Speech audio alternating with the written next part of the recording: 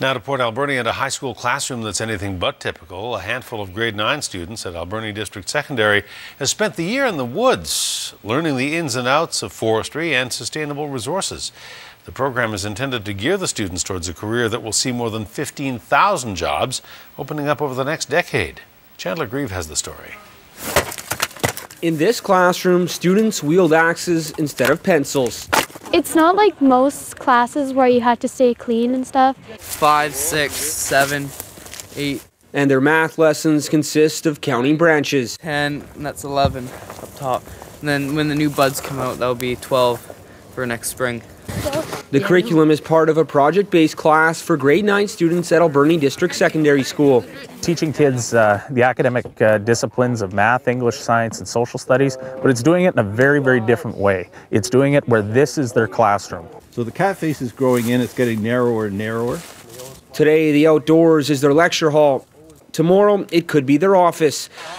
The average age of a forestry worker in BC is 62, and the industry predicts 15,000 jobs will open up over the next decade. These students see their future in these trees.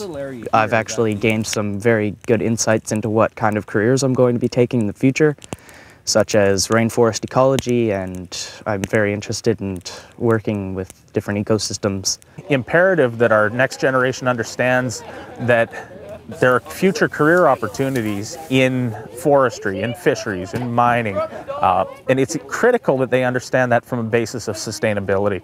The Education Ministry calls these types of programs 21st century learning models. The pilot project started in 2008, and instructors say many of their students have moved on to study natural resource management at post secondary institutions. Trim them off. I made the honor roll this year, and like I've never done that before and my parents were so proud of me and it like made me feel like I was like doing a good job. The high school also offers forestry specific courses to grade 11 and 12 students, hoping they will continue down the path into an industry that is desperate for a new generation. Chandler Grieve, CTV News, Port Alberni.